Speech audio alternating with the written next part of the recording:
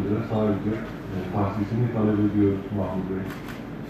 E, onu alabilirsek hemen e, oranın e, içinin e, düzenlenmesi, bakım oranını ve alınabilecek e, duruma getirilmesine yönelik e, herhalde 150-200 bin lira civarında bir idare masraf yapacağız. E, hemen bunu yapıp orada e, jandarmamızın daha iyi koşullarda güvenlik hizmetini sağlamasına imkan tanımış olacağız. Bunu e, isterseniz bir talebelerin yazılı olarak gönderelim size.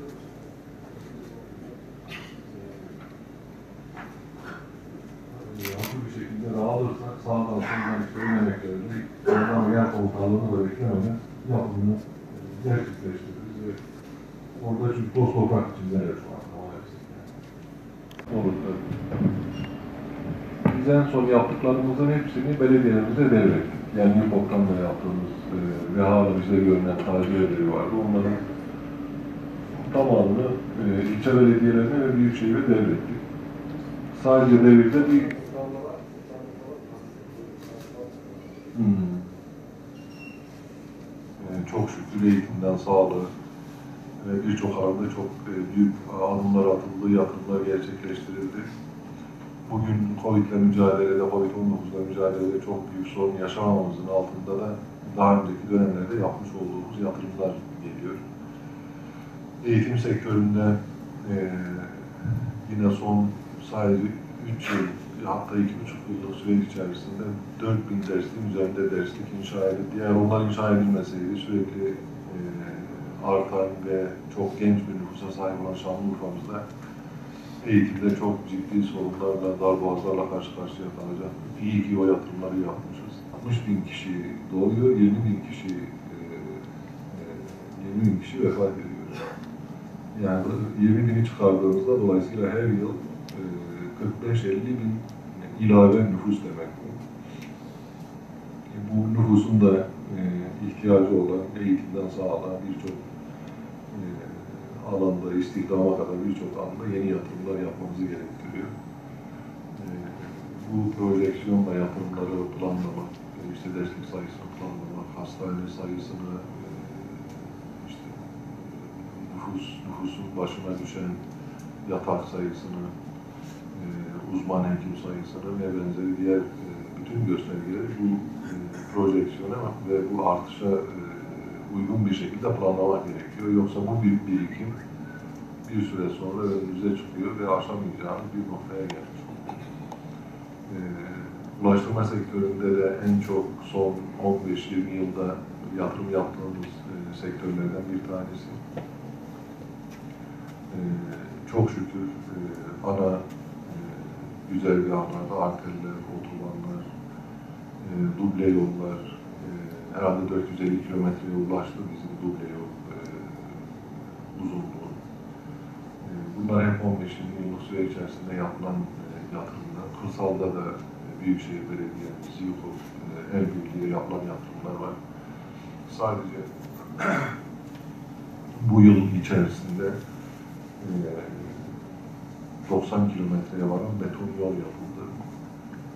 E, ve bu beton yol yapımı bunu işte Büyükşehir Belediyesi YUKOP işbirliğiyle gerçekleştirdi. E, güçlerimizi birleştirmek suretiyle işte ana e, grup köy yollarının bulunduğu güzergahların e, beton asfalta kavuşturulması sağlandı. E, önümüzdeki e, senenin geri kalan bölümünde ve önümüzdeki yılda da bu yatırımlarımız inşallah e, devam etmiş olacak. Sağlık alanında, sektöründe çok şükür şehir hastanesi sürekli gündeme getiriliyor. Eleştiri konusu yapılıyor. E, ama e, bizim bugün itibariyle neredeyse Harran ilçemiz dışında e, modern devlet hastanesi olmayan ilçemiz kalmadı. Şehir merkezinde büyük kapasiteli e, birkaç tane hastanemiz var. Ceylanpınar Devlet Hastanemiz bitmek üzere.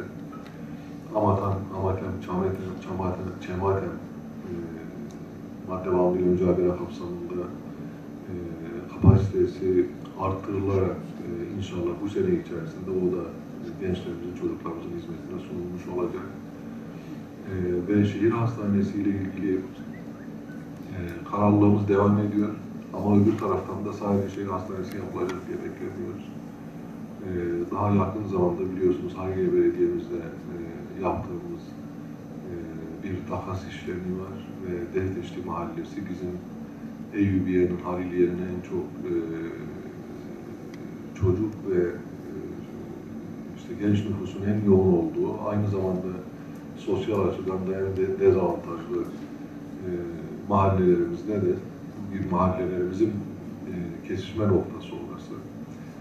Ve oraya da bir kadın doğum ve çocuk hastanesi kazan- kazandırılması ile ilgili e, çalışmalarımızı büyük ölçüde tamamladık. Takas işlemini gerçekleştirdik. Milli Emlak'tan Aile Belediye'mize birkaç parsel verdik şehir dışında. Onun karşılığında da e, devraldığımız binanın projesi e, tamamlandı. Orayı da inşallah bir e, kadın doğum ve çocuk hastanesine dönüştürmek suretiyle e, Balklıgöl Devlet Devlet Hastanesi ve Eyüp Devlet Hastanesi üzerindeki yükü e, hafifletmiş olacağız.